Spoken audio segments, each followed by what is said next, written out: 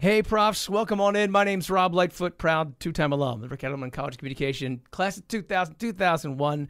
This is Beyond the Brown and Gold. I'm Jessica Kennedy. I'm the co host here, also a two time proud Rowan alum, class of 2008 from the Ric Edelman College of Communication and Creative Arts, and 2015 from the College of Education. Thanks so much for joining us today. Rowan Radio 89.7 WGLS FM presents Beyond the Brown and Gold, a show that highlights the lives and memories of Glassboro State and Rowan University alumni. Now, here are your hosts, Rob Lightfoot and Jessica Kennedy. On today's show, we have one of our very own, not only an alum, but a professor here at Rowan, Bob, Bob Baumgartner. It's like double bubble. He is a 2006 history and secondary education alum. He also graduated in 2011 with a Master of Arts in Higher Education Instruction and Administration. And he, and he works on the uh, the Battleship New Jersey, which is kind of cool. Yeah, It started way back in his internship days when he was a student here. Yeah, he is a current history adjunct professor here. Uh, lots of fun things that we talked to Bob about on today's show. Take a listen. We're going back in time because Bob's all about the history. I was a history major here, graduated in 2006, and now I'm also an adjunct in the history department this semester. So it's always good getting back, and it's always interesting to see how things have changed around campus. Um, like I said before, we were talking. My father is a graduate class of '78. My aunt and uncle graduated from here, so when I was coming to campus in the fall of 02, my dad goes, "Oh, this building was here when I was here. This wasn't." And at the time, Bosshart Hall still stood. Oh my gosh. And Bosshart Hall was the science building, and my father was a bio major, so he knew the building pretty well. And so by 2004, when the science building had opened, Bosshart was still there. I had literature classes in Bosshart, ironically, right? And so it was there, and then the following semester they took it down. So now, if you haven't been here before, you didn't have anybody know, you would not know there was something on the green grass in front of the science building, and that was the previous science building. And for those who recall from, I guess, my time and your time, Bosshart Hall needed to be taken down back then. Like it was, the building was shot. It was like, it was shot. Yeah. But they were still obviously needing it for space and such. Yeah, I, and I remember too. There was a biology professor. I think it was Dr. Pareto. I would walk through, and I had a, a hand cooler like that because I was a commuter. I would bring my lunch in it, and he said, "What organ do you have today?" Because I'm walking through the science building with a cooler, so he thought it was like Oh, yeah, yeah, transporting, an, organ. an organ. He'd always said, uh, "What organ do you have today?" And so I would always change it on him. I Uh, never thought just- about carrying an organ. Are there people carrying organs around here? I hadn't even know, no, considered that I- as a thing. I don't know. I guess they are. I think he thought it was funny, and I just went with it, so I kept it going. Yeah. But now with the medical school, who knows? There's got to be lots of organs around here. More than I probably want to think not, we're not about. harvesting here. I don't know. I don't know. Where'd you grow up? How'd you get here? I, I graduated Audubon High School, Okay. class of 2002, and when I was looking for colleges to apply to, I applied here, York College of Pennsylvania, and a College in New Jersey. And so ultimately, uh, it came down to I decided to come here, and uh, I commuted, which was saved money, right? I was able to do my undergrad and graduate school here, no loans, which was great. But the awesome thing about coming here was I think I got into the best history department in the area. Uh, talking to people from other colleges and so forth, yeah, they have good professors, but I think our department as a whole was the best department. We had a lot of people from all over, great experts on a lot of different areas of history. And it was just amazing to have them in class. I mean, I had uh, Bill Kerrigan, Jim Heinzen, Scott Morschauser, and uh, Dr. Morschauser just retired recently. But the man was a, a wealth of knowledge about ancient history, which was an amazing thing. Something you didn't wouldn't normally have. Uh, Dr. Blake, I had for middle, modern Middle East. So I, I had a lot of different professors, and one of the things that was great about it is you learn from them, and I still talk to them. You, you, did, it wasn't just like, hey, out the door you got. I still talk to them, uh, you know, whether I see them in the office or just through email or at events. And one of my friends said this, and I, I didn't think about it really until the time. I said, but if you go to an alumni event for the history department, there's going to be a lot of people.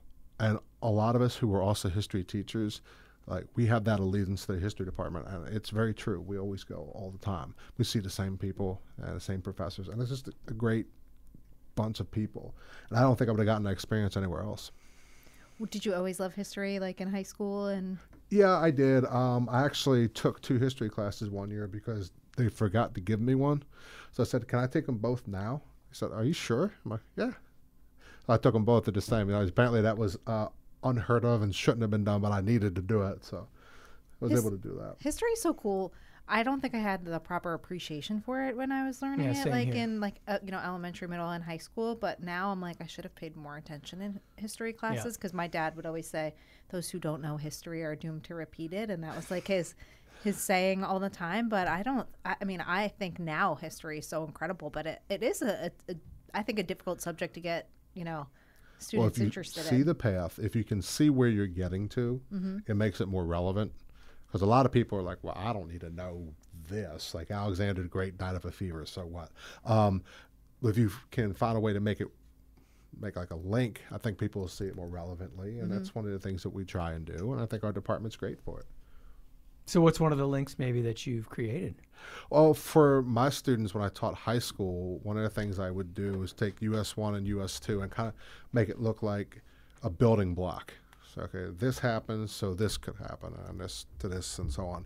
And so when I taught, I taught in Runnymede, New Jersey, and it was named after the town of Runnymede in England where the Magna Carta was signed. Okay. So it kind of look, give them a little bit little of, lesson here. Give them a little bit of a like reference to themselves. But one thing I do with my students now is I have them look at Rowan and find old pictures, like 50 years or before, and look at the modern day spot where it is. What was there? How's it changed? Why is this here now? Or did it change? If it did change, how? Like if the building got a facelift or something. Like, and a lot of them don't realize what's here until they go diving for it, and that's one of the things they need to look for. That sounds like a great project. If you could send your results to the Office of Alumni Engagement, that would be great because that's You want great easy content. research? Yeah, I mean, if hey, if your class is already doing it, pass it along. Come on, I know how to use my campus resources. Now, what made you leave? Uh, what made you, you bounce from the high school area? Uh, basically, I figured, you know, I've done uh, all I could uh, with the high school, and I always wanted to teach college. I was hoping to go on to a doctorate, but that just wasn't in the cards. Not yet.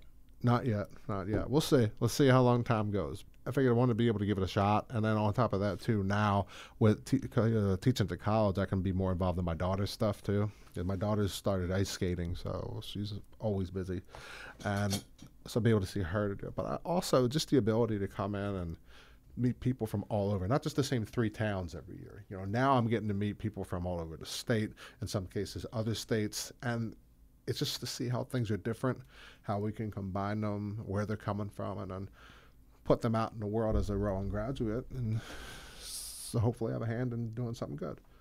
Is there a history time period that's of most interest to you? I'm very much uh, Antebellum South and the Civil War. I really enjoy that, um, but I like all of it. I mean, I work on the Battleship New Jersey part time, so I like doing that too. Military history is a lot of fun. Uh, tracing my family's history is fun too. I like doing that. Uh, trying to anyway. Sometimes you get a roadblock here or there, and you got to figure it out. But it's fun to do. You get to learn some things.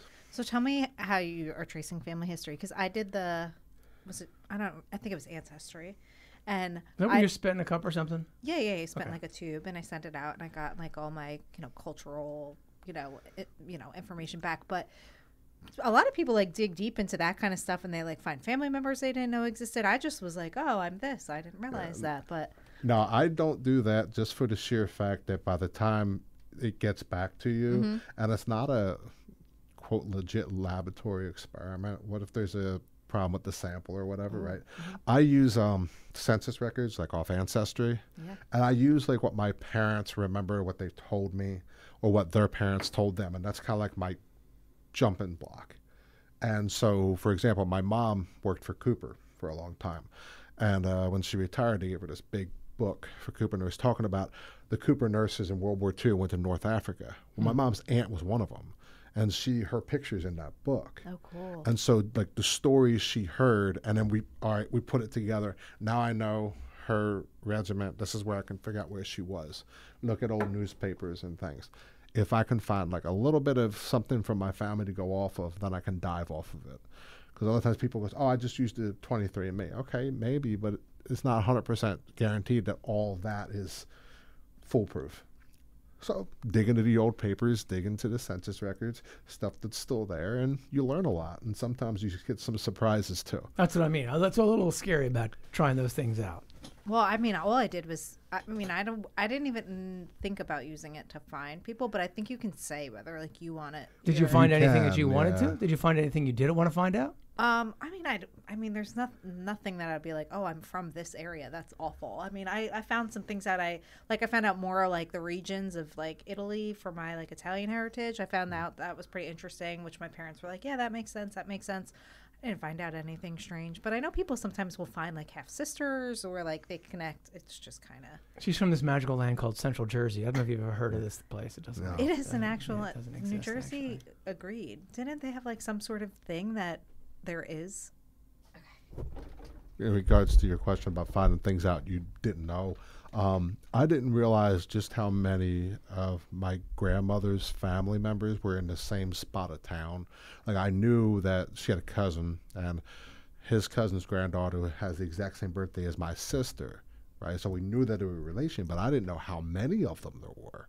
Like, there was like 30 Oh, of the same family last name in the same little spot of town. I had no idea about that. It's like I had a And little. you just check the census record, you find that out.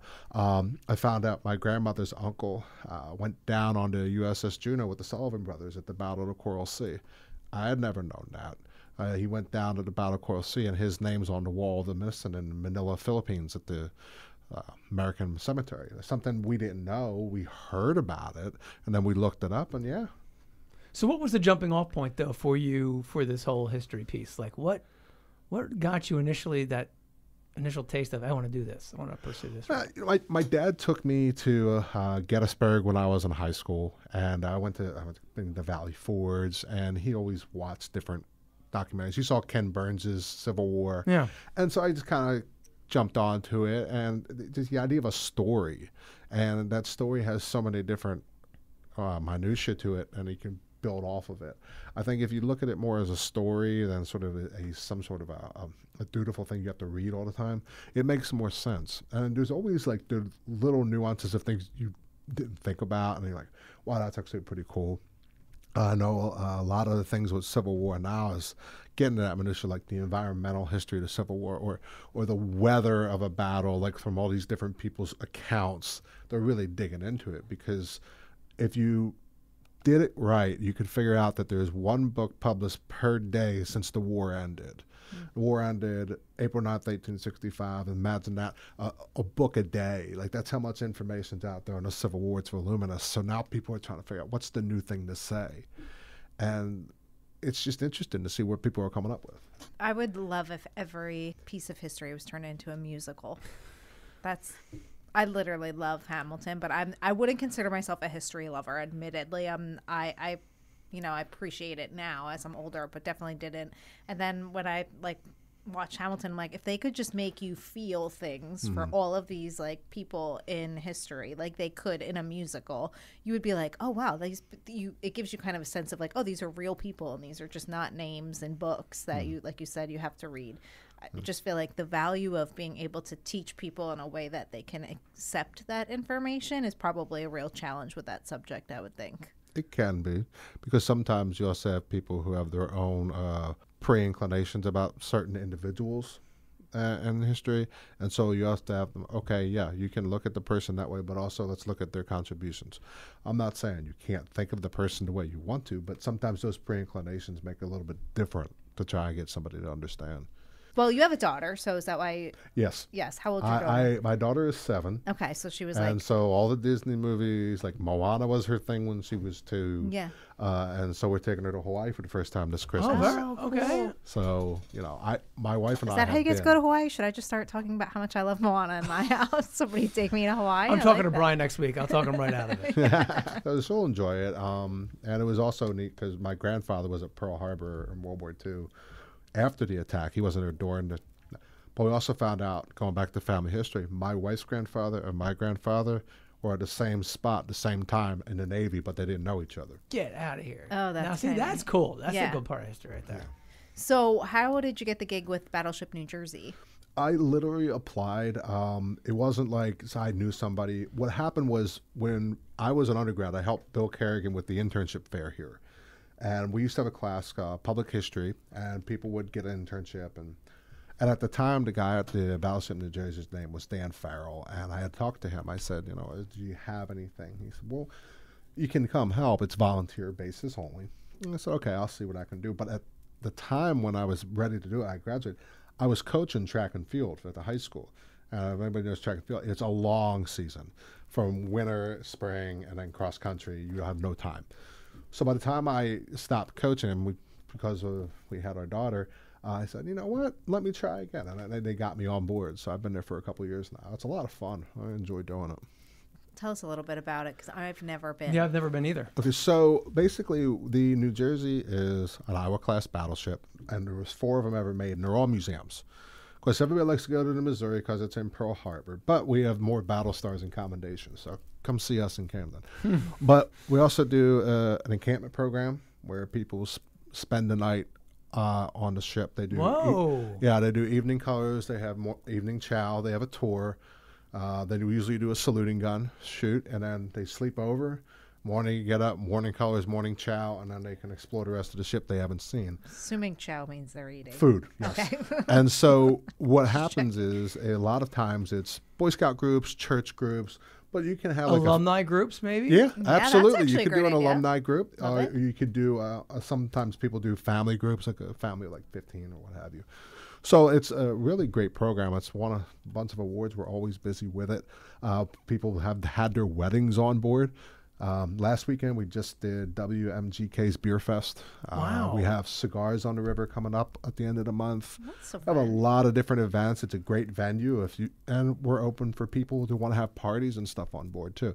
So if you're looking for a great place to have a party, but also have a fun time looking at history in the past, best place to go. And then you guys do as part of this, you guys do the educational piece, or this is just Well, you can do a tour as part of. Uh, you can do a tour as part of whatever your event is. But I also I do the tours. And I also do events, so I could I'm on both sides of it. Hmm. And so a lot of times tours will be different tour groups. Like we've had ROTC groups, we've had school groups, we've had summer camp groups. Like in the summertime, they'll come aboard and we'll do that. We've had ship reunions, like people have their reunion aboard in New Jersey with their shipmates. It's, it's you know, get a lot of different groups of people to meet. I mean, the first tour I ever did was to a group of Danish naval architects. Oh, you too? No. I was like, what? You know, first tour, I'm giving it to naval architects. I'm like, there's going to be a question to ask. I yeah, yeah. You're not gonna you know what I because they're gonna ask all the, the, so, the all but the uh, no, stuff. it's it's it's great. It's and a- did you already have a history of? I had a I had a history degree at the time I was teaching. Yeah, but I did you know like specifics about the battleship or Not they, as they much as um, I did. What they train you to do it. I knew uh, a decent amount Yeah. from what what I know of the Navy, but also what my grandfather mentioned in World War II. But you know, I learned more of the in depth, like all the uh, intricacies of how the ship operates and things like that. What's an interesting fact that folks might not know about the, the battleship New Jersey? see. Well, uh, she actually was in a storm called uh, Typhoon Cobra, and it, the storm had 90 foot waves, Whoa. and she survived. You just imagine, like, if you get seasick on a 90 foot wave, and you just. That sounds terrifying. Um, I have a deep respect for the ocean. Bob, if you had to jump into a part of history, personally, like if you go back, Hmm. what's the spot that you would say like this would be? I want to be in the mix. I want to be in this. You want to be in the room where it happens. Yeah. or or the battle, or be like you know, would, Yeah, would you want to be in you know, something? I, I think, i- if if anything, Hopefully on the winning now that. I'm doing more like the family history, I really want to be at Okinawa where my grandfather was to know what he did. You know, he didn't talk much about it. After he passed, it was I found a bunch of different aspects about where he was with his ship. So he was at the Battle of Okinawa. Uh, this is a huge battle for the Marine Corps, a huge battle in the Pacific, and he was uh, on an LSM, which is one of the ships that open up to drop the Marines. And as I was doing the digging and learning more about it, I found out his battle station position was at a machine gun, but he was a cook. So just to be able to see like what it was he did, what it was he saw, because I can see the positions on a battle map, right? But I don't know what he saw. Hmm. He never talked about it. So like, I, if I could find a way to drop into that spot and just ride along with him in the South Pacific for the, those years of the war. You know, you know, that would be where I want to go. My grandfather was a chef in the Hmm. in the military, and I'm like. Leonardo or Tuso, definitely a great Yeah, they're going to make that. right. Yeah, yeah, yeah, yeah. like a lot of a lot of French cuisine. You right? need to be cooking in there. Absolutely, absolutely. All right, I'm gonna break it up. I'm gonna I'm gonna go to our boxo question. All right, now this is a new segment that well, not a segment, I guess, a new we're just feature. we're just mixing it up. So because we always learn a lot of you know Rowan facts, but like we want to know you as a real person too. I mean, you're a real person. No matter what. what was the best decade to grow up? Well, you know, I have to say, I, I was born in '84, so I don't really remember a whole lot of the '80s, but I watched all '80s cartoons: Transformers, GI Joe. yeah, please, now No, you're you talking. can't beat it. Nope. You- Mm-hmm. No, you just cannot beat it. Nope. Um, the '90s, like That's all real history, too, elementary right? School. I, I remember. I remember specifically. Um, there was two shows that I watched before I went to school because it was happened to be on. Was um, Superhuman Samurai Cyber Squad. I kid you not. That is a long Oh, time. yeah, I don't know that one. And then um, there was a cartoon, James Bond Jr., which was funny because I got into the movies as I got older. But I remember those. I haven't seen them anywhere. There's not anywhere you can go. But and then between that and my sister putting on Saved by the Bell every single day. Once that came on, forget it. You know, as that was on every single. day. But I don't. I don't say know if there was a decade per se to grow up in, but maybe some of the stuff um, that impacted me. I would say the '80s, right? Um, I, I just the other day I started watching MacGyver on, uh, you know, loop. Uh, Yep, yep. And, and so that The original, right? 'Cause now the original. they're- No, yeah. no, no, no, no, no. Richard Dean Anderson. Thank you don't- very no, much for no, no, no, clarifying no. because there's only one MacGyver. Yeah, no. So like I was watching MacGyver, uh, Magnum PI. Yeah. Um, the Great. original Hawaii Five O. I watched that. Yeah, book Try to get my wife to watch that because we watched the new one. She goes, "No, I'll keep the new one. You can look at the old Oh, she doesn't like the old one. one." No, she doesn't. That's okay. No, there's no Alex O'Loughlin in that one for her. Oh, okay. You know what I mean? I know. Do you know? So was Top Gun 80s or 90s? Yeah, that's 80s. So my niece and nephew, they call me Gus. It's like because they have two Aunt Jesses, so we just kind of differentiated that I would be Gus. It was just like a fun nickname. Well, my brother-in-law, all of these years, has been calling me Goose, which I thought was just like a funny take on Gus. Like I thought he was just kind of like you know making fun of the fact that I had the nickname Gus. Well, my sister the other day was like, "No, he's calling you Goose from Top Gun because you're like his like main person." And I was like, "What?" What? I was like, "All of these years." She's like, "You've never seen Top Gun?" I'm like, "No." so Okay, that I, needs to be fixed. I well, that's what. so the other day I watched. Uh, I must be on like a Tom Cruise thing, but I watched Cocktail because I've never seen that before. I've never seen that either, actually. It's really, it's actually pretty good. And then, um, yeah, I need to like go back to the '80s and like watch some of those key movies that I missed because when Maverick was it Maverick that came out? The new Or- one, Yeah, yeah, everybody was so excited, and I was like, I never seen Top Gun. Yeah, I've seen that a million times. I love that one. That's why I'm watching movies. But I would have gone to the 70s. I, Yeah? I mean, I would, the 70s, the music back then was just like the to be there with Would you be like with bell bottoms and and like disco? Yeah. disco? Oh, pl- uh, well, I don't know about disco but I would be like with Hendrix, Jerry Garcia, like you know, all the Deadheads and stuff like that. I want to be out there at that time. okay, so like that different genre. Yeah, that genre. more like classic rock. Than, yeah, yeah. I want to go to the concerts, try to survive most of them because there's probably just some questionable activities going on back then. But that's where I would be, I think. Yeah, I think the music really for us because we're both we were both you know friends through through the station. I think music probably dictates where we would go decade wise. Because I always say to my husband, they just don't make music like they used to. He's like, "Why are you an old lady?" like, I'm like, I don't know. What's he They listen just- to? Post Malone? No, but he listen. He'll listen to like more current music and more current artists. Although he is like a big Jimmy Buffett guy, so he was devastated, Oh, devastated, about, sure. about that. But um, he listens to more current stuff. But I'm like, I like the old stuff. Like I just want to the '60s, the '60s music. That's that's my jam. So we're all we got 80s, 70s, and 60s. Yeah, we're all in a different bet- mix. between all of us. Um, when you're in the present moment and not in the history, what are you doing for fun outside of the Battleship New Jersey and ice skating and all this other stuff? Well, pretty much just hanging with my family. My All right. daughter's involved in ice skating, which is like three, four days a week. Okay. Um, you know, and she, the, our church youth group will be starting up, so she'll be going to that. And um, I, my wife's birthday's this weekend, so we're gonna do something for her. And um, pretty much just hang with family and, and do that. Uh, we're actually going to bring my daughter to her first planetarium show at Edelman Planetarium this Sunday. What is she going to see? It's going to be the family one. That's about a half hour, Okay. so we know what's here. But I, I know that when I was here as an undergrad, I used to do Laser Floyd, Uh, They they used to do do laser Pink Taylor Floyd, Swift. Is she a Swifty? and now they have um oh Taylor Swift. No, no, Uh, no, no, no. Oh, wow, really? strong Um, feelings assume. about No, I'm, Taylor I'm Swift. old school country. No, Oh, my god! Well, she's not country anymore. She admits that. Uh, it's she's whatever she is, she is. But um, but um, but controversial I know Taylor that Swift they have um, they now have Metallica at the planetarium as well, And so Elton forth. John recently I saw. Yeah, Elton Yeah. John. Yeah.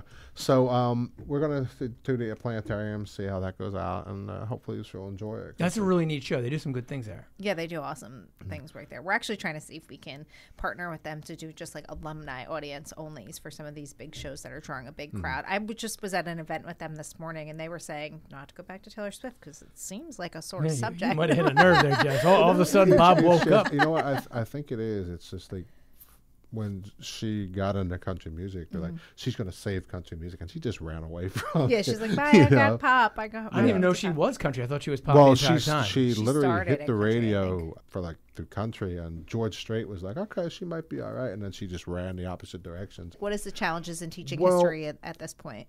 I think it's that's part of it. Okay, and the other part of it's Google. Okay. Uh, Sam Wineburg, who teaches at uh, Stanford, he's an education professor out there. He wrote a book, "Why History If I Can Google It." Why study history if I can Google it? And you know, it's a valid question because a lot of the students ask that. But the problem is, do you want to sit down there Google every single thing that comes across to try and figure out where it is? Or can you make an educated guess of where it came from and then make sense to yourself? And that's what you really have to do. Because you could go to, just say, one of the town hall meetings for the presidential election next year. Go to a town hall meeting. Hold on. Oh, yeah, it says here on Google from this point, you know, they're like, just ask the question. yeah. You know, they, that's their point of view is the internet. Their life is the internet. It's not necessarily their fault. They grew up with this stuff. Yeah. Um, I mean, like, like a lot of the kids uh, when I was at the school, they're talking about using QR codes, and I'm like, "What's a QR code?" I had no idea what it was. They're like, But "This they're, they're out of the womb and they're Yeah. doing QR codes. I Yeah. don't know what they are. Yeah. And so that was one of the difficult aspects of it. Not just as the fact that they're not interested in looking at the past, but you have to find a way to get it on a screen. And it's it's sad to say, but like if Like you Hamilton. don't have it on a screen or the ability to put it on a screen, some people are just like, I can't find it. Yeah. Like giving out paper syllabi. Like, if you give out a paper syllabi, but you don't have it on Canvas, where is it? It's in the syllabus. No, it's not on Canvas. And so you have to do that. And unfortunately, it's just a cultural thing now. The way the internet is, everybody does that. What advice do you have for history students? don't knock it till you try it sort of thing i guess you look at it as a story you know don't sit there and go uh i have to read you know look at it as a story because you know what that story has some sort of impact on how your family got here how you got here you know or, or, or why your family came over. What was the reasons your family left the old country quote unquote right? Why did they come here? It all has an impact on you one way or another. Jess and I work with obviously a lot of alumni in our capacities, but I'm always interested to see where the history majors land because everybody I think assumes they become teachers, right? Mm-hmm. But they branch off into so many different like industries. They become lawyers, you know, they become different different spaces. So I think it's a really unique space to be in from hmm. from from that history's perspective. Now, Bob, I, want to say something here. I'd like to think that we were your first podcast to be on, but apparently you're a bigger deal. and you, you've been you've been out you've been cheating on us. Well, no, I guess I don't know. I guess If it happened before us, it doesn't not count. cheat. All right, whatever. well You've been you've been elsewhere now. So so talk to us about the the other mistresses that you've been with. well, uh, the first one uh, was The Rogue Historian by Keith Harris. Uh, Keith is a PhD, teaches at a private school in Los Angeles. And he always brings his class out to Gettysburg once a year for a big class. But he's very much into utilizing the internet and so forth. So the Rogue Historian podcast was one that he invited me on because of a presentation I did at Virginia Tech on Confederate historiography. And that was the first podcast I was ever on.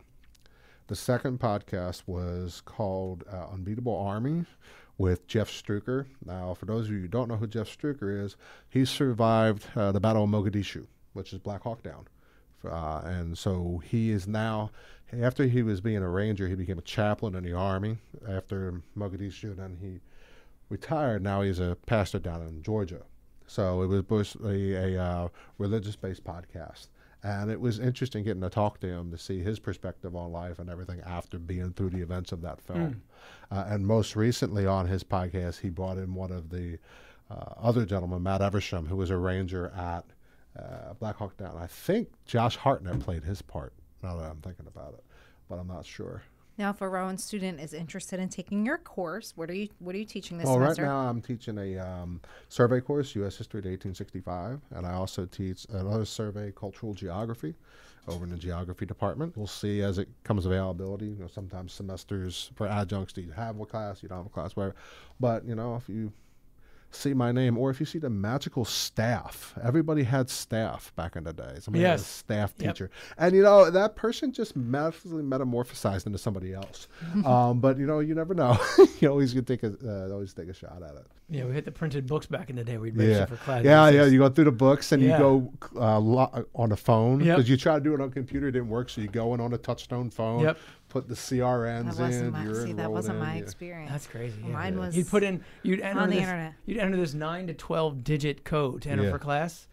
on the phone. On the phone. Okay. The obviously the the system would repeat it back to you individual number.